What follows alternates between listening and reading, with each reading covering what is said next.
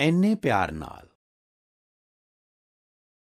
ਇਸ ਕਹਾਣੀ ਵਿੱਚ ਬੁਰੇ ਆਦਮੀ ਨਾਲ ਵੀ ਪਿਆਰ ਨਾਲ ਵਰਤਾਓ ਕਰਨ ਦੀ ਸਿੱਖਿਆ ਦਿੱਤੀ ਗਈ ਹੈ। ਦੱਸਿਆ ਗਿਆ ਹੈ ਕਿ ਬੁਰਾਈ ਨੂੰ ਪਿਆਰ ਅਤੇ ਨਿਮਰਤਾ ਭਰੇ ਵਰਤਾਓ ਨਾਲ ਜਿੱਤਿਆ ਜਾ ਸਕਦਾ ਹੈ। ਇੱਕ ਮਹਾਤਮਾ ਇੱਕ ਰੁੱਖ ਦੇ ਹੇਠਾਂ ਪ੍ਰਭੂ ਦੇ ਧਿਆਨ ਵਿੱਚ ਬੈਠੇ ਸੀ। ਉਦੋਂ ਹੀ ਗੁੱਸੇ ਨਾਲ ਭਰਿਆ ਹੋਇਆ ਇੱਕ ਆਦਮੀ ਆਇਆ ਅਤੇ ਉਸਨੇ ਮਹਾਤਮਾ ਦੇ ਕੋਲ ਹੀ ਥੁੱਕ ਦਿੱਤਾ। ਉਸਨੇ ਮਹਾਤਮਾ ਨੂੰ ਬੁਰਾ ਭਲਾ ਵੀ ਕਿਹਾ।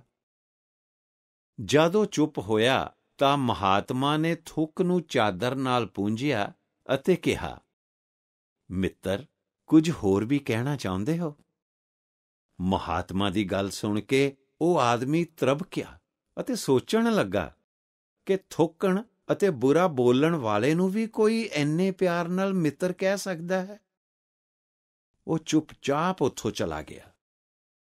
ਮਹਾਤਮਾ ਦੇ ਇੱਕ ਚੇਲੇ ਨੇ ਸਭ ਕੁਝ ਦੇਖਿਆ ਅਤੇ ਉਹ ਗੁੱਸੇ ਨਾਲ ਭਰ ਗਿਆ। ਉਸਨੇ ਕਿਹਾ, ਗੁਰੂਦੇਵ, ਉਹ ਦੁਸ਼ਟ ਆਦਮੀ ਤੁਹਾਡੇ ਕੋਲ ਥੁੱਕ ਕੇ ਗਿਆ ਅਤੇ ਤੁਸੀਂ ਉਸ ਨੂੰ ਪੁੱਛਦੇ ਹੋ ਕਿ ਹੋਰ ਕੁਝ ਕਹਿਣਾ ਹੈ?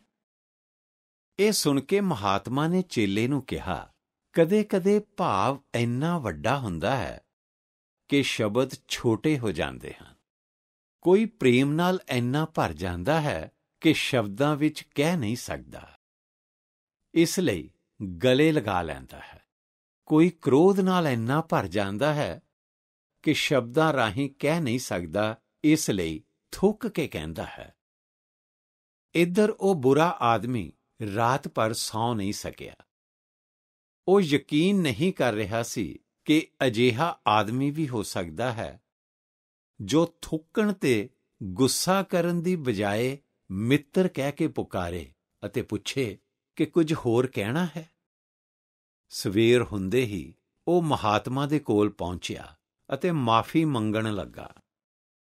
ਮਹਾਤਮਾ ਨੇ ਉਸ ਆਦਮੀ ਨੂੰ ਸੱਚੇ ਦਿਲੋਂ ਮਾਫ ਕਰਦੇ ਹੋਏ ਕਿਹਾ, ਜੋ ਹੋ ਗਿਆ, ਉਹ ਹੋ ਗਿਆ। ਅਸੀਂ ਤਾਂ ਅੱਗੇ ਵੱਧ ਗਏ ਹਾਂ ਕੱਲ ਦੀ ਗੱਲ ਭੁੱਲ ਗਏ ਹਾਂ। ਲੇਕਿਨ ਤੂੰ ਕੱਲ ਦੀ ਗੱਲ ਤੇ ਕਿਉਂ ਰੁਕਿਆ ਹੈ? ਹੁਣ ਖੁਸ਼ੀ-ਖੁਸ਼ੀ ਜਾਓ ਅਤੇ ਇੱਕ ਨੇਕ ਕੰਮ ਕਰੋ।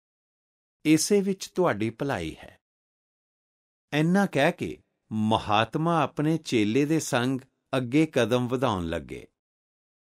ਹੁਣ ਉਹ ਆਦਮੀ ਖੁਦ ਨੂੰ ਹੀ ਘৃਣਾ ਨਾਲ ਵੇਖਣ ਲੱਗਾ।